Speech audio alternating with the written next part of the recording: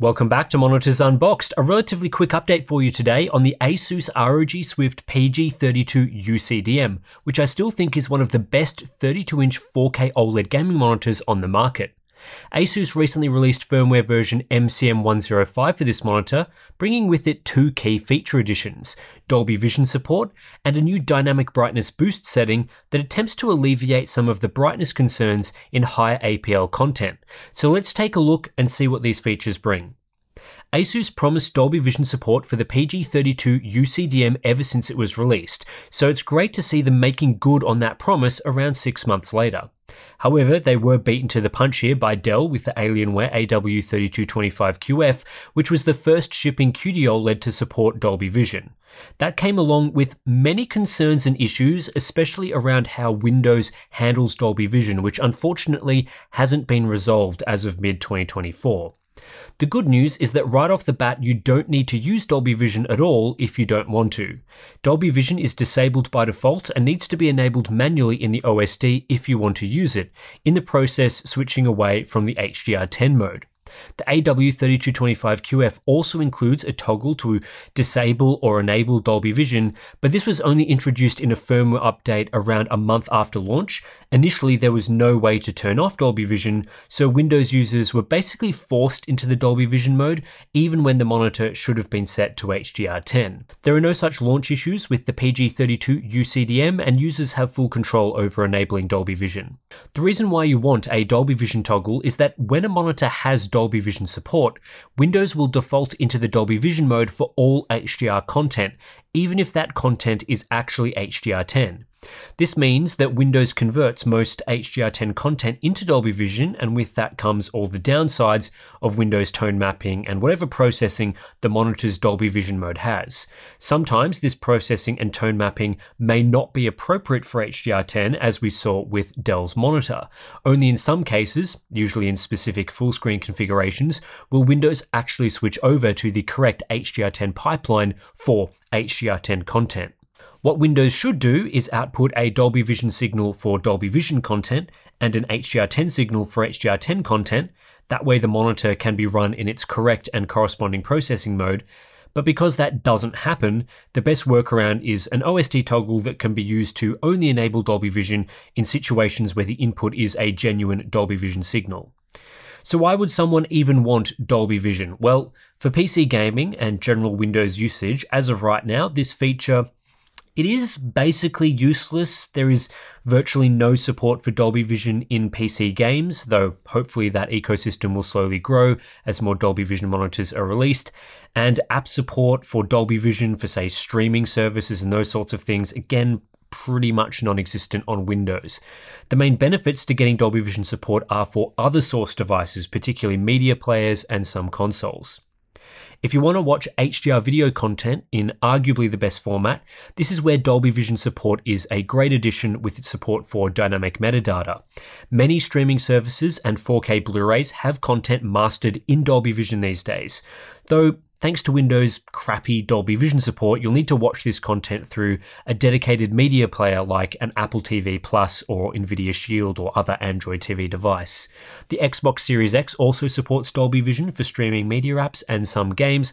The PlayStation 5 does not have Dolby Vision support at all.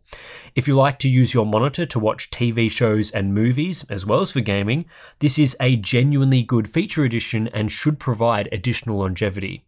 The PG32 UCDM comes with three Dolby Vision modes, bright, dark, and gaming, with only very minor differences between the three. EOTF tracking is essentially the same, with the dark mode being slightly dimmer. Unfortunately, all three modes are capped to just 450 nits of brightness, similar to the True Black 400 modes across most QD OLEDs, and this is true for both real-world Dolby Vision content and HDR10 signals passed through as Dolby Vision via Windows.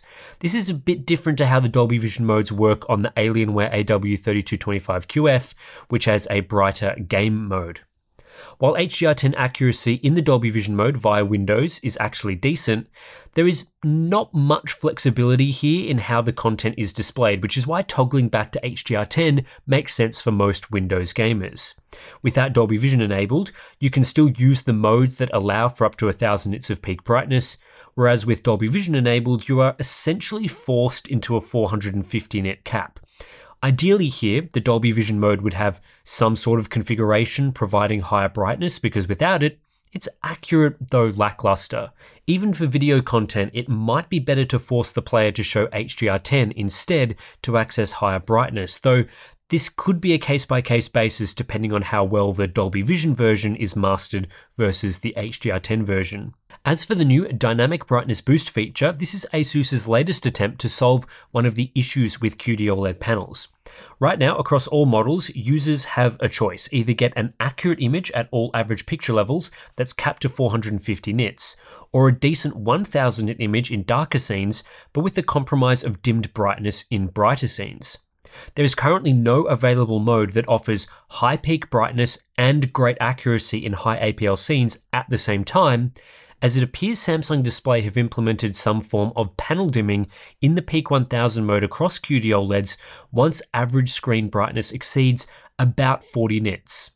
It's still unclear to me why there's this limitation, but we've seen it now across the QD OLEDs I've tested, and that's prompted recent changes to how we measure real scene brightness.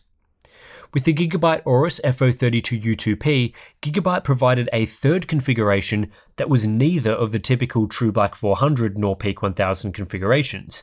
This third option was optimized for bright scene accuracy, preventing panel dimming without sacrificing a 1000 nits of peak brightness. The trade off was that darker scenes were significantly over brightened, to the point where some scenes would be more than twice as bright as they should be, hurting shadow detail. However, especially for games that have few dim scenes and largely take place outside in bright environments, this new third configuration might deliver the best experience and avoid the dimming that some buyers have complained about. The PG32 UCDM's new dynamic brightness boost introduced with firmware MCM 105 is essentially the same thing but with a slightly different implementation. The end result though is similar to how the FO32U2P works in its bright gaming HDR mode. As a refresher, this is how the console HDR mode performs normally, which is basically unchanged in the latest firmware. This is with Dynamic Brightness Boost disabled, providing similar performance to other QD OLED Peak 1000 modes. You'll notice good EOTF tracking accuracy for lower APL content, so darker scenes, but much worse accuracy for higher APL content, brighter scenes, with noticeable dimming. When Dynamic Brightness Boost is enabled, EOTF tracking is significantly different. Now, for smaller window sizes, there's significant levels of overbrightening through the middle and upper parts of the EOTF range. This isn't as much overbrightening as you get from the Gigabyte model, but it's still to the point where some dimmer scenes are twice as bright as they should be. Meanwhile, for larger window sizes, EOTF tracking is closer to accurate, though some aspects are either too dim or too bright, depending on the exact parts of the curve we look at and what specific curve. Generally, though, for brighter scenes, this combats dimming and you get closer to the expected accuracy. In real scene brightness, this causes a trade off compared to the HDR console mode without dynamic brightness boost enabled. This new setting combats mid and high APL dimming, causing just a 6% deviation in our tests compared to 45% for the original configuration. However, in some scenes, we actually sacrifice a bit from peak brightness, especially in the absolute lowest APL scenes, though this isn't always the case, it can depend on the exact content. This allows for some of the highest APL scenes to be significantly brighter, such as video scene 4 which goes from 260 nits to 388 nits, a 50% improvement. You'll also notice here that brightness performance is very similar to the Aorus FO32U2P using its HDR game mode, though if anything, the new ASUS setting is actually a bit better for reducing the effects of dimming. With that said, neither model offers good accuracy in this configuration. In fact, enabling this method of operation causes a big hit to Delta E performance, especially for dim scenes. Effectively, this is a compromised solution. It's potentially useful for people that want better brightness in bright scenes without sacrificing a thousand nits of brightness in dark scenes, which might be the best way to experience brighter games. However, it's not a setting that fixes the issues with the Peak 1000 and True Black modes on QD OLED gaming monitors. It's still not possible to have strong accuracy, a thousand nits of peak brightness, and no panel dimming in bright scenes simultaneously. You have to sacrifice one of those things in each available mode but I like the choice. It's better to give users a choice than to not offer the option for those that might want it. And just by reading reports from people, they do want this mode. This also keeps the PG32 UCDM very competitive with the Aorus FO32U2P, which did offer this configuration previously as I guess, kind of an exclusive feature. With that said, I'd still like to see future QD OLED panels eliminate this performance issue and give us an uncompromised 1000 nit experience. It's probably something that Samsung Display will need to address given the inability of the monitor makers to fully solve it through firmware tweaks so far. Generally though, this new firmware update for the PG32 UCDM doesn't change much in terms of how it's positioned against other 4K QD OLED gaming monitors. It's nice to get Dolby Vision support and the dynamic brightness boost option, extending the Asus model's lead as the most feature-rich variant, though for a typical PC gamer, it's probably not going to be the difference maker. Most of the available options are very well calibrated, deliver excellent performance, and come with a great set of features. The MSI or Dell models are still the cheapest in most regions, and the Gigabyte model is still the only one with DisplayPort 2.1. There's something for everyone across the various models. But anyway, that's a look at the Asus PG32 UCDM with the latest firmware, version MCM105. I still have this Asus monitor, so I thought I'd bring it out of storage, give it a little test, see what it brings, and obviously with these two new features, there's some things to talk about, so hopefully you've all appreciated this video. If you do want to support our independent testing that we do here at Monitors Unboxed and Hardware Unboxed, we do have our Patreon and Floatplane accounts. Links to those are in the description below. You'll gain access to some cool benefits like our Discord community, which is a great place to chat about monitors, and a few of you there did warn me, or at least not warn me, but let me know about this firmware update, so that was good to see. Anyway, thanks for watching. I'll catch you in the next one.